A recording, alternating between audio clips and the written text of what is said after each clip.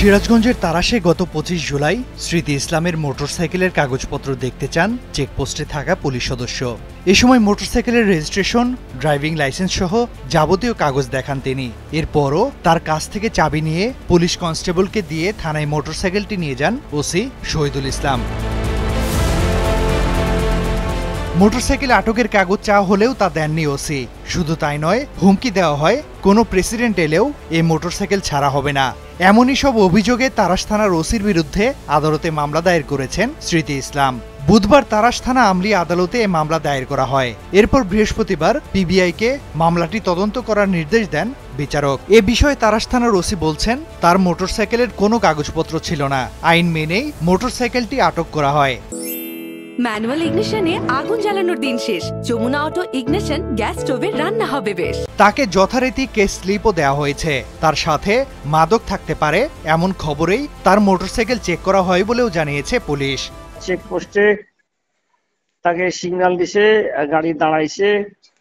আহ, যেহেতু সে মেয়ে ওইজন মোটরসাইকেল চালক মহিলা মোটরসাইকেল চালক। এবং তাকে দাঁড় করানো হয়েছে, কাগজপত্র দেখতে চাওয়া হয়েছে, কাগজপত্র সে দেখায় না দেখাতে পারে নাই। পরবর্তীতে আমাকে জানালে মহিলা পুলিশ সহ আমরা গেছি আর কি, যেহেতু আমরা আগে থেকে জানি যে মেয়েটা মাদকের ব্যবসা করে। এটা আমাদের আগে থেকে জানা। এবং আমাদের তথ্য ছিল যে হয়তো তার কাছে মাদক থাকতে পারে।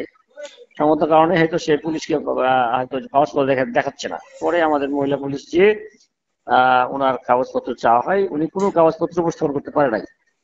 যেহেতু এটা মোটরসাইকেলের কাগজপত্র উপস্থাপন করতে পারে না। সমস্ত কারণে আমরা বিধিসম্মত ভাবে ওই ওইখানে আমরা গাড়িটা জব্দ করি এবং জব্দ তালিকা তৈরি করি এবং আমাদের যে প্রসিডিউর সে প্রসিডিউর আমরা ফলো করি এবং গাড়িটা তারপর আমরা থানায় নিয়ে আসি।